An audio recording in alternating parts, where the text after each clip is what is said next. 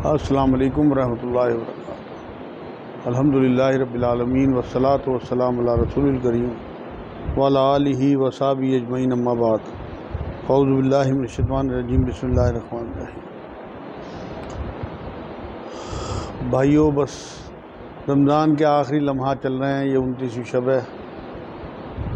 अल्लाह की तौफीक से, उसकी मेहरबानी से मौसम ख़राब होने के बावजूद आप लोग यहाँ इकट्ठे हो गए। ये सिर्फ़ और सिर्फ़ उसी की तौफीक से हुआ। क्योंकि आपको हालात मालूम है, बाज़ार के भी, ज़माने के भी। तो ये बड़ी उसकी मेहरबानी और शान है कि उसने हमें यहाँ इकट्ठा होने की तोफ़ी दी। और मुबारकबाद हो आप लोगों को कि आपने तहमुल के साथ पूरा महीना रोज़े भी रखे अलहमदिल्ला तरावी भी सुनी तिलावत कलाम पाक और बाकी मरकज़ में बैठ के सवाल जवाब और इस तरह की नशिश रही अलहमदिल्ला कि पूरा महीना पता ही नहीं लगा कब गुजर गया। जैसी भी टूटी फूटी हमसे इबादत हुई हैं, वो अल्लाह के हुक्म से हमने कर दी। बाकी अपनी शान से अल्लाह कबूल करेंगे इन अजर भी देंगे। क्योंकि कुरान ने वादा किया है कि जो जिस भी लाइन में मेहनत करेगा, अल्लाह उसे उसका फल ज़रूर देगा। तो इन आप लोगों को ज़रूर फल मिलेगा। मेरी दुआएँ आप लोगों के साथ हैं, आपकी दुआएँ मेरे साथ हैं। इन कल एक बात ये आई थी कि लैलतुल कद्र को क्यों छुपाया गया? और मतलब जब नबी अकरम सल्लल्लाहु अलैहि वसल्लम बताने के लिए आ रहे थे तो फिर भुलाया क्यों दी भुला क्यों दिया गया? पहले तो मैं इस हक में ही नहीं हूँ कि ललतुल कद्र जो है वो अंदाज़ा लगाया जाए कौन सी रात में है। जब नबी अकरम सल्लल्लाहु अलैहि वसल्लम से अल्लाह ने छुपा दिया तो हमारी क्या मजाल कि हम उसे ये तय करें कि फ़ला रात जो है वो होगी। नबी की तालीमात में ये बात मिलती है कि पाँच ताक रातों में इसे तलाश करो। तो वो पाँच ताक रातों में हम इसे तलाश करने के लिए यहाँ इकट्ठे हुए और अल्हम्दुलिल्लाह हर साल इकट्ठे होते हैं। तो इन उम्मीद है अल्लाह की रात से कि हमें कोई ना कोई रात मिल ही जाती है हर साल। पक्की है तो बात। कल ये भी बात आ रही थी कि अब यहाँ पे उनतीसवीं है पाकिस्तान में आज जो है वो कल को ईद है या सऊदी अरब में। तो क्या ललतुल कद्र रोज़ भी हो सकती है अलग अलग भी हो सकती है? इसमें बहुत से अकवाल हैं जो अल्लाह रब्ज़त हर चीज़ पे कादिल मुतरक है। वो हर जगह जो है वो ललतुल्क़द्र को हर तरफ़ बांट भी सकता है ला भी सकता है। रोज़ की नज़र में किसी बात की कोई वैल्यू नहीं है। बस वो अपने बंदों की भलाई चाहता है। और कुरान में उसने वादा किया कि इस एक रात का जो मामला है, वो हज़ार महीनों से अफजल है इबादत का। अगर इसमें आपको वो रात मिल जाती है तो ये शॉर्टकट है जन्नत का। तो बस अल्लाह की तौफीक से आज यहाँ इकट्ठे हुए और वो जो बात है कि ये छुपाई क्यों गई इसमें कुछ चीज़ें मैंने अपने इल्म के हिसाब से लोगों से सुन के, पढ़ के ये अंदाज़ा किया है कि इसे छुपाना भी अल्लाह की रहमत है। क्योंकि अल्लाह का कोई भी काम जो है वो हमत से खाली नहीं होता। चंद चीज़ें ऐसी हैं, अहम तरीन, जिसे अल्लाह रब्ज़त ने छुपाए रखा। जैसे क़यामत के बारे में कोई नहीं जानता। हदीस जब्राइल आप लोगों ने सुनी होगी, जब जब्राम एक बूढ़े बुज़ुर्ग की शक्ल में नबी अकरम सल्लल्लाहु अलैहि वसल्लम की बारगाह में आए और फिर उनसे सवाल किए कि इस्लाम क्या है, ईमान क्या है, एहसान क्या है? और सबसे आखिरी सवाल जब नबी ने सब जवाब दे दिए, आखिर में पूछा कि क़यामत कब आएगी? तो नबी अकरम सल्लल्लाहु अलैहि वसल्लम ने यही बात फरमाई थी कि जितना पूछने वाले को पता है, उतना बताने वाले को पता है। मतलब अल्लाह ने मख्फी रखा ये मामला कि क़यामत कब आएगी? इसी तरह और भी तीन चार चीज़ों के बारे में ये बात आती है कि वो किसी को नहीं मालूम। उसमें भी अल्लाह की हमत है, एक तो मौत है। मौत का कुछ नहीं पता कब किसे आएगी अगर ये पता लग जाया करता कि कल को या परसों किसी की मौत आ रही तो वो शायद अटैक से पहले ही वो बीमार हो जाता है ख़त्म हो जाता, या फिर वो ऐसी तैयारी शुरू कर देता कि वो आखिरी वक्त में। अब तो मौत का पता ही नहीं है तो इसलिए हर आदमी को हर दिन ये लगता है कि मेरी मौत ना जाए, इसलिए वो उसकी तैयारी में लगना चाहिए। हालाँकि आज हम मादी दौर में हैं, ऐसा नहीं होता। ऐसे ही एक नमाज़ वसत का ज़िक्र आता है कुरान में। उसमें भी अल्लाह रब्बुल इज़्ज़त ने यही कहा कि बीच की नमाज़ की हिफाजत करो। लेकिन ये नहीं बताया कौन सी नमाज़ है। लोगों ने बहुत इसके अंदाजे लगाए हैं। और इसमें नबी अकरम सल्लल्लाहु अलैहि वसल्लम की कोई टीच टीचिंग मौजूद नहीं है कि वो नमाज़ वसत कौन सी है। ज़्यादा लोगों का अकवाल जो हैं वो इसमें यह है कि ये असर की नमाज़ है। मगर मैंने शायद आपको पिछले हफ़्ते, उससे पिछले हफ़्ते बताया था कि मैंने जो अंदाज़ा किया, वो मुझे फजर की नमाज़ लगती है। लेकिन दिन इस तरह से घूमता है कि हर नमाज़, बीच की नमाज़ पढ़ती है। हर नमाज़ से पहले दो नमाजें हर नमाज़ के बाद दो नमाजें तो अलग अलग बुज़ुर्गों के अलग अलग कौल हैं इस मामले में। मुझे इसलिए लगता है कि मगरिब से शुरू होता है, इस्लामी दिन जो है, और मगरिब और ईशा गुजरने के बाद बीच की नमाज़ फजर बैठती है। और उसकी हिफाजत का हुक्म अल्लाह ने दिया और हम हालात देखते हैं मस्जिदों के फजर में लोग जो हैं वो इकट्ठे नहीं होते मस्जिदों में। तो अल्लाह हमारा क्रिएटर है, उसे अंदाज़ा होगा कि ये लोग नींद छोड़ के नमाज़ में नहीं आ पाएँगे, इसलिए उसकी हिफाजत की, जो बात कही। लेकिन ये पक्के तौर पे नहीं है। ये सब एक अंदाजे हैं, उनमें गलत भी हो सकते हैं। खैर, और भी चीज़ें हैं इस तरह की कि जो अल्लाह रबुल्ज़त ने छुपाए रखी और लोग इसीलिए उसमें कोशिश करते रहते हैं। तो लैलतुल क़द्र जो है, वो भी इसी में ही आती है कि अल्लाह रब्बुल इज़्ज़त ने इसे हिकमतन छुपा दिया। क्योंकि कोई भी नेमत अगर पता लग जाए और उसे फिर आदमी ना माने या उसकी बेहरमती करे तो फिर उस पर कुफ्र का फतवा लग जाएगा। देखो, एक बार नबी अकरम सल्लल्लाहु अलैहि वसल्लम मस्जिद में हज़रत अली के साथ एंटर हुए, सुबह की नमाज़ पढ़ने के लिए तो एक साहबी सो रहे थे। तो नबी अकरम सल्लल्लाहु अलैहि वसल्लम ने हज़रत अली से कहा कि इसे जगा दो। ये अपनी तैयारी करें, नमाज़ नमाज़ पढ़े। तो हुक्म की तामील की हज़रत अली तो ग़ुलाम थे। फ़ौर उन्होंने उठाया साहबी को और उन्होंने तैयारी वगैरह शुरू कर दी। तो थोड़े से वक्फे के बाद हज़रत अली ने तजस में नबी अकरम सल्लल्लाहु अलैहि वसल्लम से पूछा कि हुजूर, ये नेकी का काम था। अगर आप इन्हें उठाते तो ये नेकी आपके हिस्से में लिखी जाती तो आपने मुझे क्यों हुक्म दिया? तो नबी अकरम सल्लल्लाहु अलैहि वसल्लम ने बात फरमाई, क्या ली? अगर ये नींद में मेरे उठाने पे इनकार कर देता, मेरा तो इस पर कुफ्र वाजिब हो जाता। तो इसलिए नबी अकरम सल्लल्लाहु अलैहि वसल्लम ने हज़रत अली के ज़रिए उठवाया, ख़ुद नहीं, क्योंकि वो रसूल थे। बस इससे अंदाज़ा लगाइए आप कि अगर अल्लाह रब्बुल इज़्ज़त इस लैलतुल क़द्र को उस दिन अल्लाह के रसूल सल्लल्लाहु अलैहि वसल्लम को ना भुलाते और एक रात वो पॉइंट आउट कर देते कि फ़ला रात जो है, वो लैलतुल क़द्र होगी हर साल आखिरी अशरे में। और जो लोग उसकी फिर बेहरमती करते, मस्जिदों में ना आते इबादत ना करते उस रात तो उन सब पर कुफर का फतवा लगता। क्योंकि अल्लाह की बड़ी नेमत का वो जो है, उस टाइम वैल्यू नहीं समझ रहे थे। तो किसी भी चीज़ की वैल्यू ना समझना जो अल्लाह की बड़ी नेमत है, ये हमें दो तक ले जाएगी बात। तो इस वजह से इसे रखा मख्फी अल्लाह ने।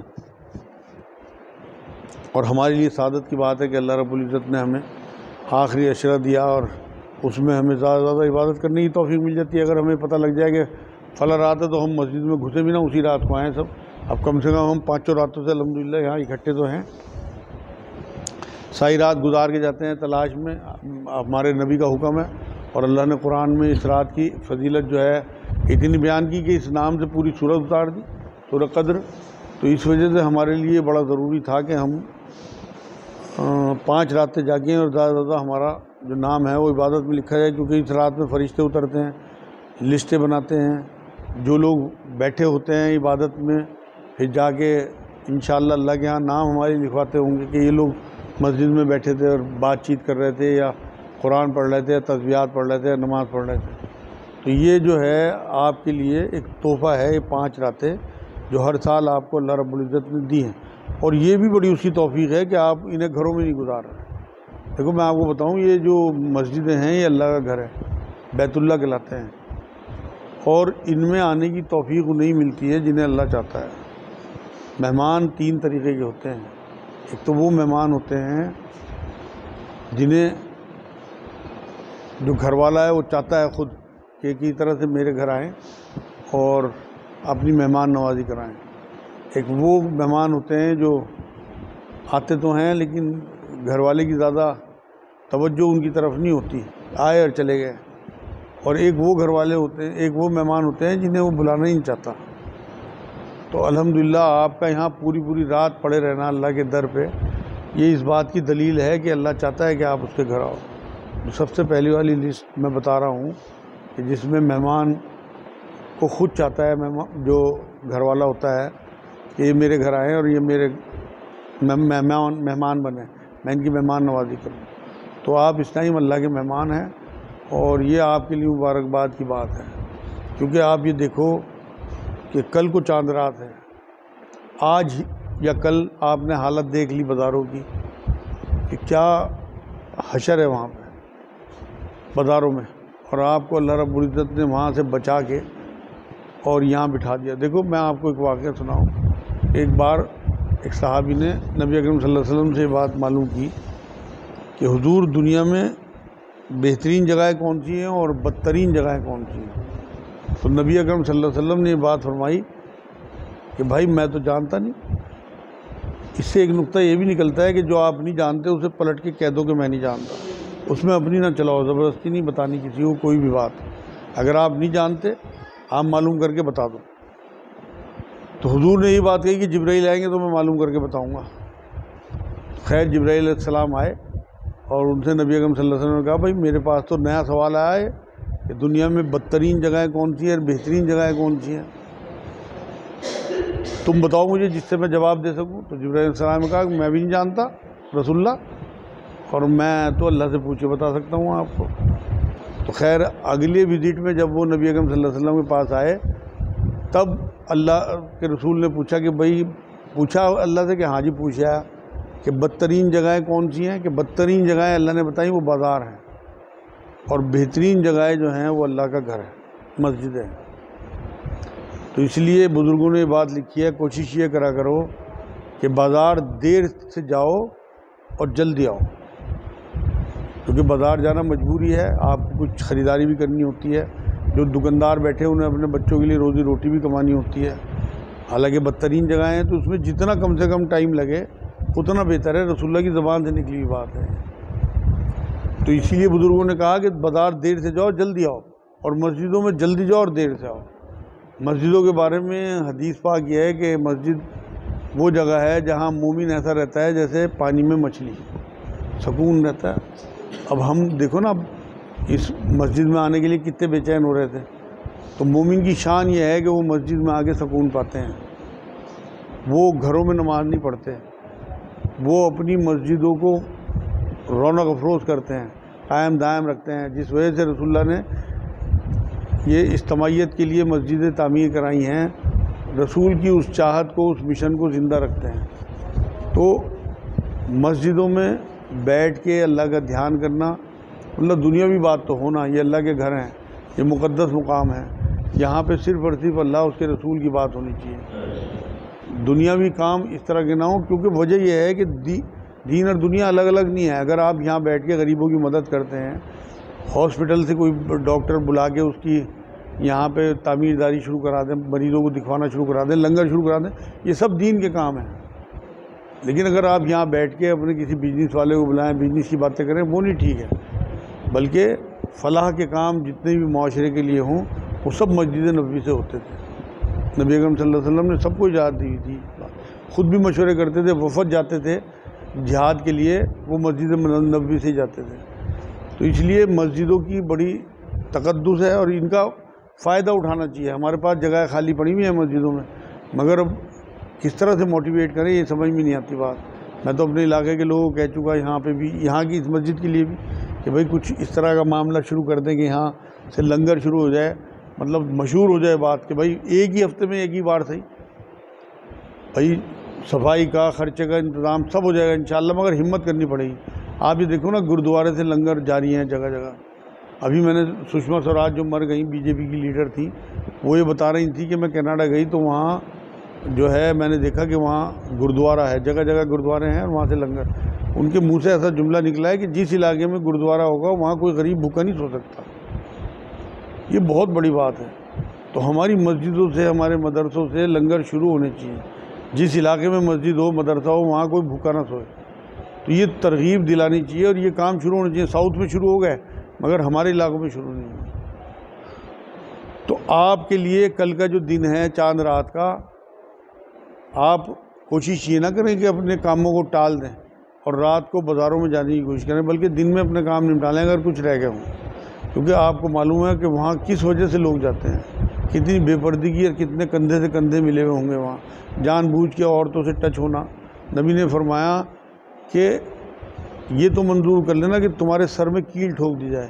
ये मंजूर ना करना कि तुम किसी नामहरम औरत को छुओ।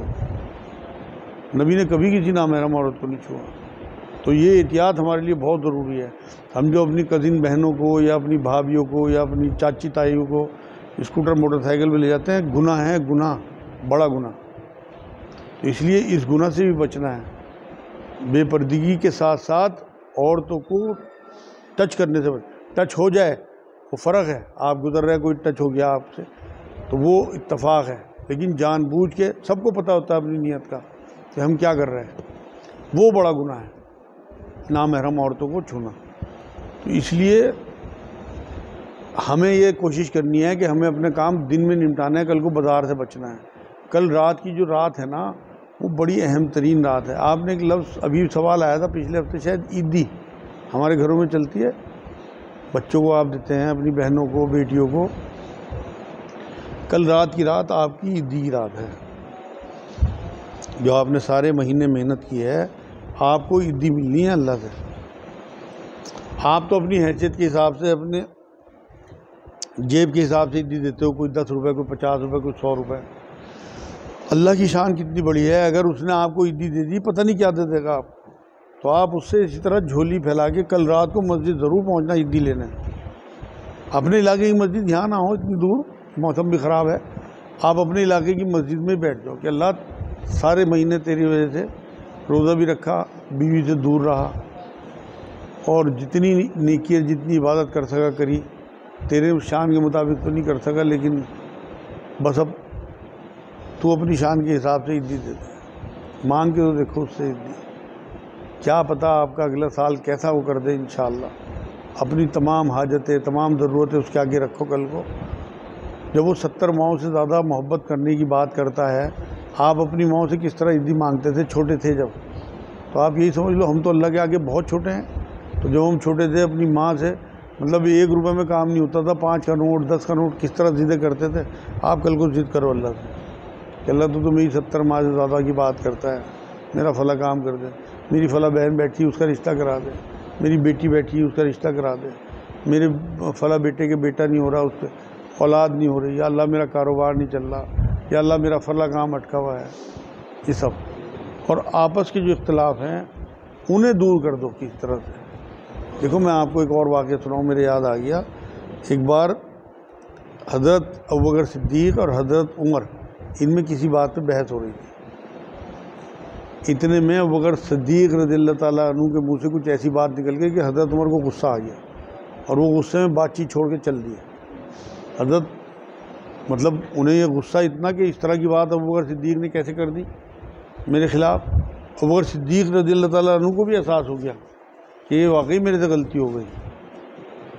तो जब वो उठ के चले हैं तो ये पीछे पीछे भागे उनके हज़रत उमर के, मगर वो रुके नहीं, आवाज़ें देते उमर सुन उमर सुन, उमर मेरे से गलती हो गई, मैं माफ़ी मांग रहा। उमर गुस्से वाले आदमी से चलते चले गए और जाके अपने कमरे में घुसे मतलब उसमें घर में उजरे में अंदर दरवाज़ा बंद कर लिया कि दरवाजे पे खड़े रहे होकर सिद्धि और बड़ी गिल्ट इन्हें कि मैंने क्या कह दिया। उधर उन्हें अंदर जाने के बाद एहसास हुआ कि मैंने अच्छा नहीं किया। अब बकर को मैं, वो माफ़ी मांग रहा था और मैं माफ़ कर देता। इधर अबू बकर सिद्दीक थोड़ा सा इंतज़ार करके हजूर अकरम वसल्लम की बारगाह में और पूरी बात नबी अकरम वसल्लम को बताई कि हुजूर इस तरह इस तरह वाक़ हुआ और उमर ने जो है दरवाज़ा बंद कर लिया और मैं अंदर ही अंदर घुल रहा इस बात से। कि मैंने कितनी बड़ी गलती कर दी, मुझे ये बात नहीं कहनी चाहिए।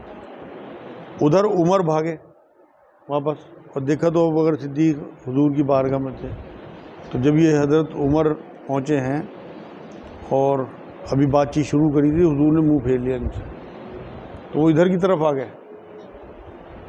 तो नबी अगम सल्लल्लाहु ने इधर मुँह फेर लिया। तीन दफ़ा इधर से उधर मुँह फेरा। तो धम से गिरे हज़रत उमर।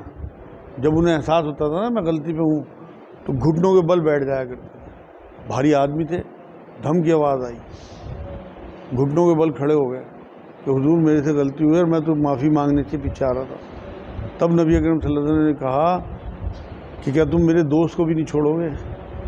जिसने मेरा जान से बहुत साथ दिया, जिसने मेरा माल से बहुत साथ दिया, क्या तुम इसे भी नहीं छोड़ोगे? तब हज़रत उमर ने गलती मानी, एहसास किया और ये मामला निपटाया तो ये जो आपस के इख्तलाफात हैं, इनमें भी मामला उखड़ जाता है। तो ये जो कल की रात है आपकी, रात तो आज की बहुत अहम है। उनतीसवीं शब है, ललतुल कद्र हो सकती है, क्योंकि ताक रातों में तलाश करने का हुक्म दिया नबी ने। हमारे इलाके की ताक रात है तो यही सुन्नत है हमारे लिए इसमें जागना। लेकिन कल की जो मैं आपको बता रहा हूँ, वो ईदी लेने की रात है।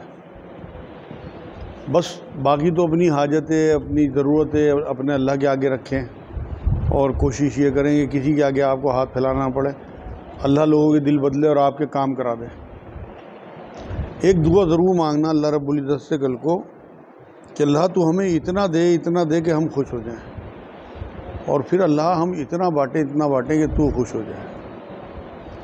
अगर आपकी ये दुआ कबूल हो गई कल की रात में तो आप पे माल बरसेगा और आपको अल्लाह सखी कर देगा। क्योंकि माल लेना इसीलिए है। माल रुकना नहीं चाहिए। रुका हुआ जो पानी है, वो तो नापाक होता है। उसमें से बदबू आने लगती है। जो रवा दवा पानी है ना, असल में वो है कि आप ऐसी नहर बन जाओ कि डैम से पानी उसमें आता रहे और आप लोगों को सैराब करते रहो। क्योंकि इस्लाम का मिजाज यही है कि पैसा जो है वो सर्कुलेशन में रहे। किसी एक जगह ना रुके। सेविंग को इस्लाम पसंद नहीं करता। इसीलिए इस्लाम प्रमोट इस बात को करता है कि आप लोगों के साथ पैसे लगाएँ शरागत में काम करें, जिससे कि औरों को भी एम्प्लॉयमेंट मिले। तो इसलिए आप अल्लाह से इतना मांगो कि आप खुश हो जाओ, कि आपके पूरे खर्चे, आपके बच्चों की तरबियत आपका हो और फिर बांटो भी इतना ही, क्योंकि बांटने से अल्लाह बहुत खुश होता है। तो ये तोफ़ी भी मांगो उससे कि अल्लाह इतना दे कि हम खुश हों और इतना हम बांटेंगे, तू खुश हो। देखो इन ताला ये रात आपकी कैसी गुजरती है। एक घंटा भी अगर कल को आपने इन दुआओं में लगा दिया और अल्लाह से ईदी लेके घर वापस आ गया आप तो आप पूरा साल देखना आपको क्या मिलता है फिर अल्लाह से।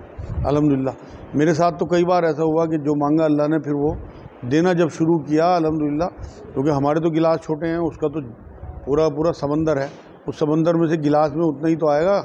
कि जितना हमारी कैपेसिटी होगी, उसने अपने समंदर से हमारे गिलास भरे। और किसी का गिलास ही उल्टा तो वो क्या लेगा? भाई अगर आप उल्टा गिलास पकड़ो, कोई जग से उसमें पानी, वो तो नीचे गिरेगा। तो इसलिए अपना गिलास खाली रखो और सीधा रखो। मतलब अपना दिल खाली। किसी भी शिर किसी भी बिदत, किसी भी कुफ्र से। अल्लाह रब्बुल इज़्ज़त। जब हुजूर से पूछा कि अल्लाह कहीं समाता है हुजूर ने नहीं, कहीं नहीं समाता। तो हुजूर, कहीं तो समाता होगा कि नहीं, कहीं नहीं समाता? तो हुजूर, कहीं तो समाता होगा कि हाँ समाता है। दिल मोमिन में। तो अपना दिल मोमिनों वाला दिल कर लो, अल्लाह समा जाएगा गारंटी है। बिल्कुल इन ताला। क्योंकि अगर आपके दिल से गंद निकल गया, गंद कैसा?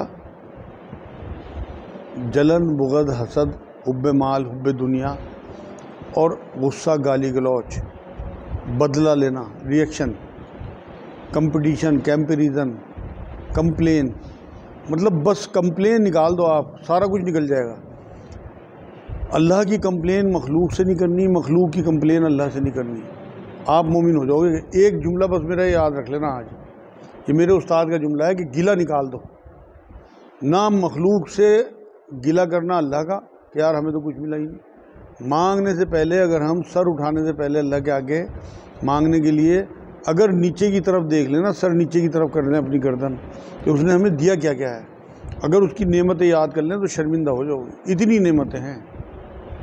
एक बार झाँक लिया करो। कुरान में अल्लाह रब्बुल ने यही बात कही जो मैं आपको बता रहा हूँ। अल्लाह ये कहता है कि तुम मुझे पुकारो, मैं तुम्हारी सुनता हूँ, मैं तुम्हारे शारक से भी ज़्यादा करीब हूँ, और ए नबी इनसे कह दे कि मुझे पुकारें। मैं करीब हूँ इनके बहुत, मगर इनसे यूँ कहो कि ये भी तो मेरी सुने, मैं तो इनकी सुनता हूँ। तो आप जब गिरबान नीचे करके अपना सर और गिरबान में झांकोगे तो आप देखोगे अल्लाह आपकी कितनी सुन रहा है और आप अल्लाह ही कितनी सुन रहे हैं। वासिफ़ अली वासिफ़ का जुमला मैंने पहले भी शायद आपको बताया कि जितना आपकी कायनात में अल्लाह का हिस्सा है, उतना ही अल्लाह की कायनात में आपका हिस्सा है। आप अपनी कायनात में अल्लाह का हिस्सा बढ़ा दो। लाजमी अल्लाह की कायनात में आपका हिस्सा बढ़ जाए। गारंटी है, कसम खा सकूँ मैं इस बात की, क्योंकि अल्लाह बड़ा आला तरफ़ है। वो अगर आप उसके लिए कुछ करते हो, वो दुगना, चौगना, सात सौ गुना तक का वादा करता है कुरान में? कि उससे भी ज़्यादा बढ़ा चढ़ा के दूँगा। आप करके तो देखो। बस अल्लाह करे आपकी रातें आज की भी और कल की भी बेहतरीन गुजरे, क्योंकि अब तो मुलाकात हमारी ईद के बाद ही होगी, मरकज़ में जुमे को। तो इसलिए आज थोड़ी सी ये बात मुझे करनी थी। अब किसी के जहन में कोई सवाल हो तो कर।